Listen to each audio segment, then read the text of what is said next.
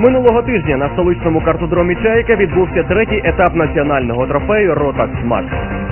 Особливістю цих змагань є використання пілотами двигунів одного виробника.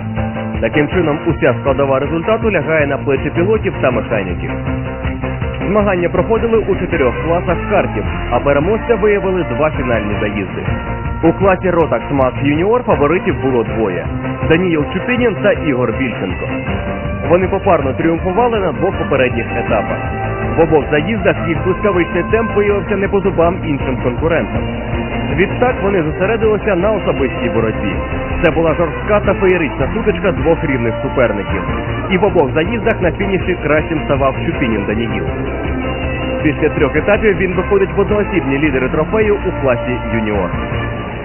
Мы очень хорошо поработали, особенно мой механик. Хорошо поработал нам над машиной и над мотором.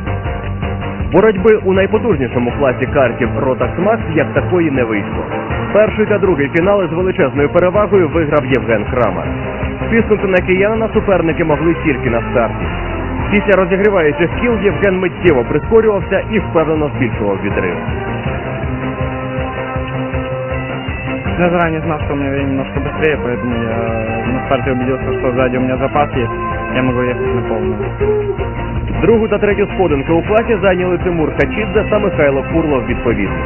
Наступний четвертий етап трофею Rotax Max відбудеться на